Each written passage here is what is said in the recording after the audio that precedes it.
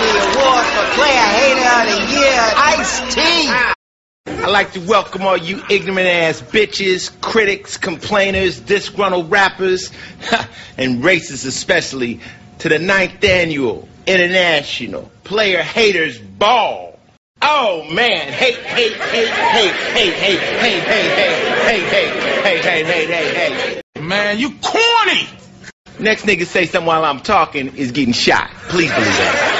So without further ado, let me give you the nominations for Player Hater of the Year. Y'all ready? First up, Buck Nasty is nominated for getting his best friend's wife pregnant, then tricking his best friend into raising the little motherfucker. Yeah, holla at your boy. Damn, that's hateful. The next nominee, Pitbull is nominated for calling the police on the drug dealers that moved next door to his house. Not because it was the right thing to do, just because he was jealous of all the money they was making.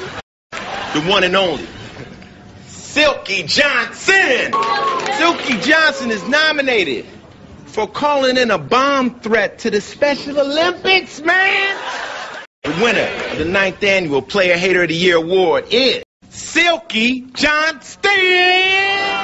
Kiss my ass! I'm the biggest hater! Silky mink made out of 100% rat ass! That, of course, was beautiful talking. Beautiful on the weekends does stunts for Little Richard and gay movies. First off, I would like to thank God Almighty for giving everybody so much and me so little. I hate you. I hate you. I don't even know you, and I hate your guts. I hope all the bad things in life happen to you and nobody else but you.